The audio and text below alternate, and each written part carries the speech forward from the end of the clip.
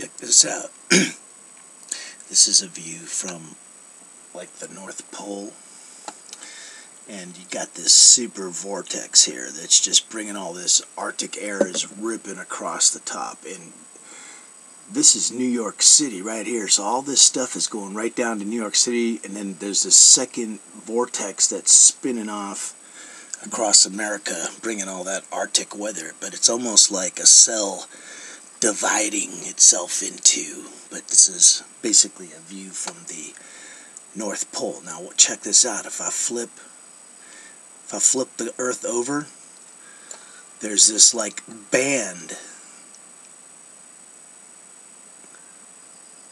This red band right here. It's going around the globe. Watch, I'll spin the world a little bit. But this band completely circles the Earth. And then when you flip the Earth over and you're looking at the South Pole, Antarctica,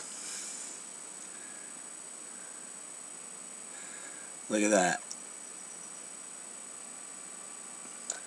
I'll just reposition it one more time.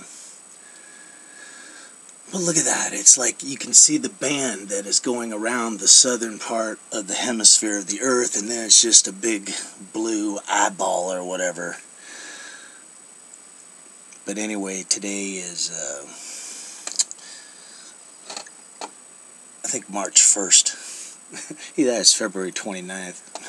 I'll check the date. But it's uh, Saturday, but, uh, you know, I was just looking at the wind map here in San Jose. We're getting pounded. California's getting pounded with just an arc storm. You know what? Let me show you the arc storm before we go. See, like I'm, I'm bringing it back just so you can see the San Jose situation. Here's San Jose is about there on the map.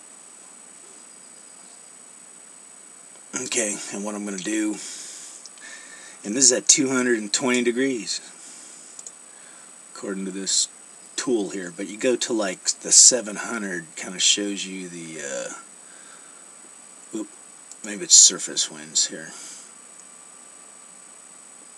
Uh, let's go to a thousand. What was one of these. Hold on just bear with me for a second here. Yeah, it was 500 Yeah. But see, here's San Jose. There's almost like a hurricane forming. This is the arc storm, this red band, and it's just shooting all this water across the country, creating a, a winter uh, storm called Titan that is just dumping snow across the east coast in New York. All right, hey man, I was just looking at the wind, man. It's crazy stuff you know, the breath of God.